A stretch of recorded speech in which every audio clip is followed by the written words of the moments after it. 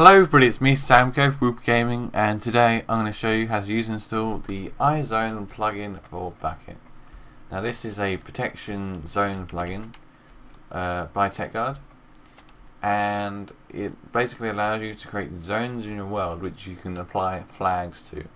Now flags are things like will explosions explode in this zone, uh, are people allowed to destroy in this zone, uh, welcome messages, farewell messages, many more and I'm going to go over all the flags later. So for this tutorial I'm going to go over the in-game side of it first, how to actually create the zones and configure them and then I'm going to go into the configs and show you all what to do there. So first of all I'm in my world and I want to create a protection zone for my house which I've built. You can see very very flashy house. So that's what we're going to be doing today. So let's start with the commands. First command is iZone and this just simply shows the version that you're running of iZone. The next command is zmod and this will show you a list of all the possible commands that you can use. So we're going to go over what all these commands do. So the first one we want to do is the create. But first of all we need to select two points for our cuboid of the zone. So the selection tool for this is the wooden shovel by default. You can change this in the config. And we're going to left click and right click two points of the uh, zone so that the whole uh, cuboid is encompassed, uh, the whole house is inside the cuboid. So let's have one point here and we'll set the other point over here. So if you imagine these two points will make the uh, house in between them uh, have a cuboid around it. So you need to right click and left click. Left click is first point, right click is second point. Okay, so once you've done that, you're going to do zmod, create, and then the name. So this is whatever you want to create it. To choose house. Okay, so that's, we've created our first zone. So now if we do zmod list, we show a list of all the zones inside the uh, server or world and as you can see there's one zone and that's called house. If I was to create multiple more zones that number would increase and there would be more names there. So another tool I'm going to show you is the wooden sword tool. Now we can right click anywhere and it will show us whether or not we're in a zone. So let's right click here this block is in the zone in the zone, yeah. And we get a nice little information packet on where we've clicked. So it's found that there's a zone, and it's called name house as we defined. Hasn't got any flags at the moment, but I'll show you how to add them soon. And whoever's allowed in the zone, whoever uh, the protection applies to and whatnot. So as you can see, only one at the moment, and that's me. I'm the owner, Sam. Okay, so if I was to go outside the zone, say over here, uh, as you can see no zone found. I also did the same thing by doing zmod info when inside a uh, no we're not inside a zone. Zmod info and then the name of the zone so house. And I get the same information packet and I don't have to be there just to get information on it. Okay so that's the information part of it. Now let's do zmod who this, oh I'm not actually in the zone yet. Then one, who? This will show all the players who are in your current zone. So if there was more players in this zone it would show more players and the number would increase. As you can see though it says house, so I know I'm in the zone house. So before we do anything else I'm gonna say I have add a mine system or something and my my protection doesn't go that far. So what I'm going to do is expand it downwards I can also expand it upwards, but I'm going to show you how to do it downwards, and it's the same for upwards. So I'm going to do zmod expand, and then I'm going to have the zone name, which will be house, down, and then how many blocks I want it down. So let's have 20. It's quite a big mine, so 20. So now the you can't actually see it, but the actual cuboid around this has been increased so that now it's 20 blocks lower than what it was previously and I can also do the same higher should I build my house higher or something like that okay so now I'm going to add some flags. See a list of all the flags, we're going to do zmod flag and we get to see a list of all the flags. So there's protection, monster, animal, welcome, farewell, and all done that. I'm going to go over the main ones and just explain to you what they do. So one of the main ones you're going to be using is the protection, if you're wanting to use this as a protection one. So let's have a look at that. So first of all we'll do zmod flag, the name of the zone, so house, and then protection. Now you don't even have to type all of in, all, all of in. You can just type protect, for instance, and it will just assume what you've put. So there we are, protection flag on. So now if another player was to come along, go inside the zone, and try to grief my house, uh, they would not be allowed to, unless they're on the whitelist. So to add someone to the whitelist, say I, my friend comes along and he's like, oh, I, I can't, I can't edit, your house he wants to add like a porch or something, I don't know. So you can do zmod uh, allow zone, so house, and then the player name. So let's have X xtorrent. So now if X xtorrent was to come along, uh, he will be able to edit the house as well.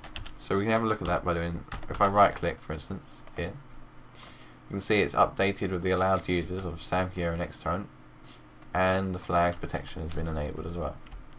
So the only two people allowed to edit this zone are xtorrent and SamKio. Okay, so that's one of the flags. We can also disallow people by doing disallow house and then the player name, so xtorrent.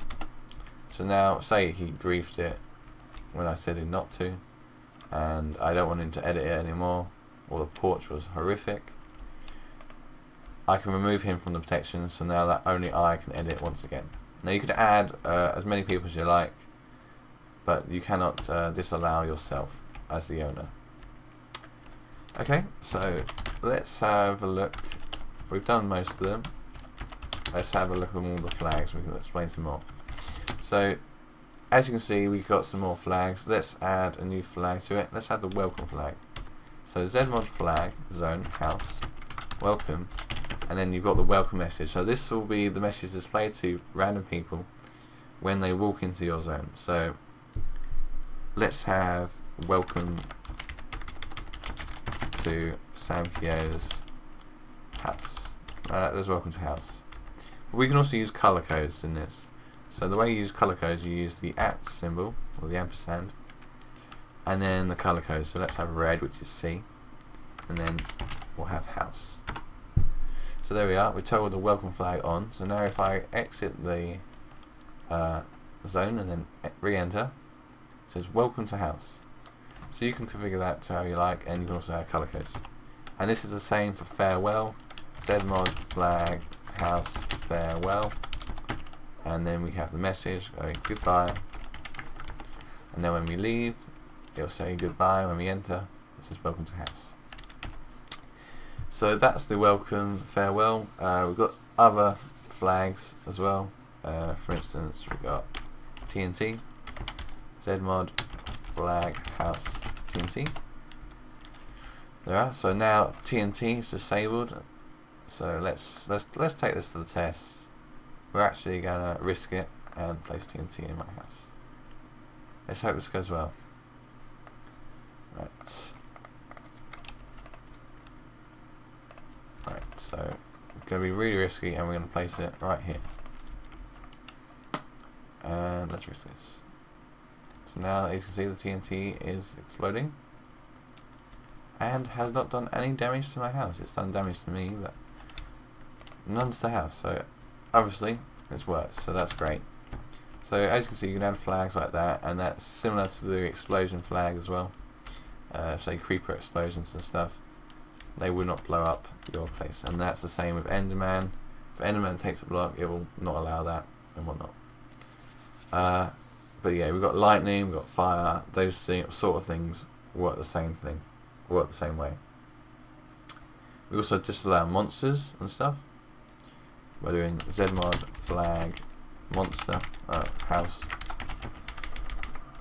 monster and this will just make uh, no monsters allowed in this zone or spawn in this zone okay and that's generally all of them you can also have PvP and interact and these but these are should be self-explanatory, hopefully. So say you want to, and the final command is deletion of a zone. This is nice and simple. zmod delete house. And there we go. The house no longer exists. It still exists, but the zone does not exist anymore. Okay, so now, now that's the in-game side of it, as perfect timing. Sun's going down. But uh, yeah, I'm going to go and show you how to actually install it and go over the config. So see you in a bit. Hello! So now we're in the configuration side and we're over how to install it. So go to the thread as you would and I'll provide a link in the description. I'm going to hit the download link here. This will take you to this page. You've got two choices. Uh, you got support uh, tech guys. You can click here and it has adverts, or you can just click there. I would recommend clicking this one just to support the developer. But uh, there you go. Download that, and you should have a zip folder. And if we just find that zip folder, shall we? Yep, there we go. We've got two uh, folders, iZone and iZone jar. Just drag and drop those into your plugins directory. I've got loads of plugins in there for some reason. So I'm going to look over the configuration. So go to your server, plugins, iZone, and there should be three uh, three files. One is saves, config, and iConomy. So let's first take a look at config. Okay, so first of all we have the tools. So as you saw in game, we use the wooden shovel to define uh, the areas. So this is ID 269. If you want to change this to like a stick or something, you can change that and change the ID. Same with the wooden sword. You can change the check uh, item to whatever you like as well.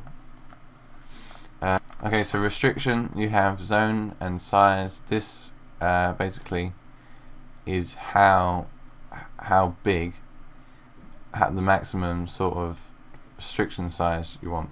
So we have a node izone.zone.maxzone.unlimited and this has size minus 1. Minus 1 means unlimited. But we can create our own permission nodes. Say we wanted like VIPs have slightly bigger than normal users or want a maximum, we can have say like uh, let's have a size or the number of zones could be 5 for instance and then we can create our own permission uh, node here. So let's have izone.zone.max max zone dot 5 and that would create a permission node so we can use in like any permission plugin of fire. So we can instead of giving everyone unlimited permission node we can give them the fire permission node. And this is the same for the maximum size this is how many blocks there is. So minus one is unlimited, but we can create our own and set a permission node there. And we can create as many as we want here. Okay, so we also got this hurting. This is a flag. Uh, there's many flags, and one of them was hurting. And this just shows how much hurting they get. So every seven seconds, they'll get two damage hearts so you can configure that. And then there's also a flag for healing so if you want to make a hospital for instance uh, that'll show you how much healing they have over time. So every three seconds they get one heart. Okay so when also people create a a, uh, a zone by default everything is false. Yep. So all the flags are false. But what we can do we can set for instance protection to say true. So that when people create them by default protection is true. So say you had mods that were protecting uh, people's creations. It might be an idea to set protection for true and interact to true as well. Just for the fact that they will, they won't have to keep typing uh, flag for protection and interaction for every person's um, person's building. They'll just have to allow them. So that goes over the config. So save that. Okay, there's also an iConomy sort of uh, thing. If you have iConomy plugin, you can enable uh, iConomy. So first of all, we've got enabled true or false. Set that to true if you want to use iConomy. And basically you can set how much it will cost to do the following action. So how, how much will it cost to create a zone? So you can charge people to create zones, you can charge people to delete zones, you can charge people to disallow players, and you can charge people to allow players. So that's if you've got iConomy installed, you can actually charge for creation of zones. And then saves will just have all the iZone saves. Okay, and that concludes today's tutorial. I, I quite like iZone, it's a very simple protection plugin. Doesn't require uh, much well, much understanding. I mean, it's e really easy to pick up, and uh, it's generally uh, very simple to use. So check it out. Thanks for watching. Uh, don't forget to like and subscribe. It's me, SamKio, Woopa Gaming, signing out.